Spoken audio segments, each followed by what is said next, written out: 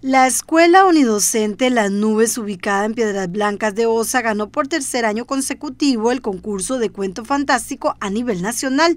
Por esa razón recibió un importante reconocimiento por parte de la Junta de Desarrollo Regional de la Zona Sur. Este tema llegó por medio de la compañía Fielia, Montenegro Soto, y llegó a la Junta Directiva y yo le dije a ella, este, vamos a poner de acuerdo. Eh, yo creo que a veces la empresa privada puede ayudar mucho y más en estos estudiantes.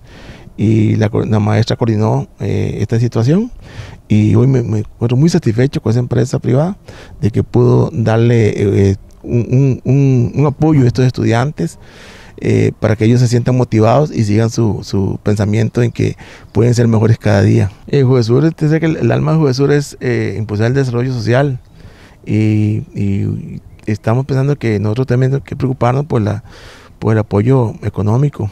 Y eh, eh, para nosotros es muy importante estos aportes porque estamos motivando a ese emprendedor que a veces por, no tiene un espacio de poder solventar el sol y la lluvia. Y uno quiere dar más, pero a veces los recursos, son limitados.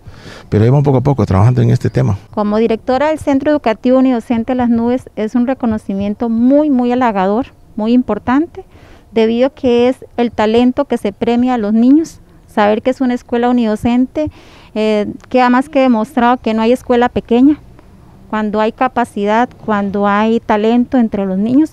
Yo creo en la niñez, por lo tanto he sido instrumento para apoyarlos, para motivarlos y que logren sus sueños. Judesur los premió haciéndoles entrega de tres pantallas y un equipo de sonido.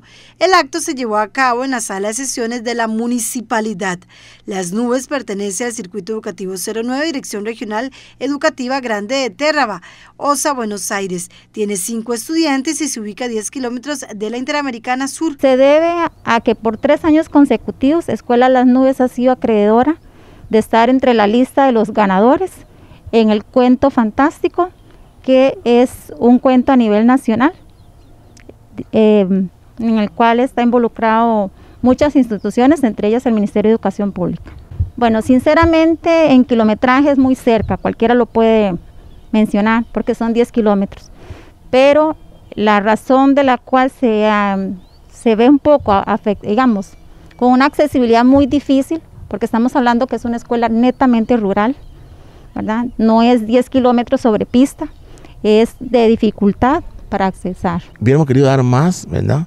Pero yo que me, siento orgulloso de una escuelita como las nubes que están en esas altas montañas de Santa Rosa y que obtenga un premio de esto, yo creo que es digno de homenajear a estos estudiantes y a esta educadora y a esa comunidad que yo sé que hay pares de familia detrás de esta situación y que uno como educador o educador eh, se siente orgulloso y, yo sentí esa necesidad y de coordinar para poder llevarles una alegría a estos niños. De esta manera se brinda un reconocimiento por el trabajo que están haciendo.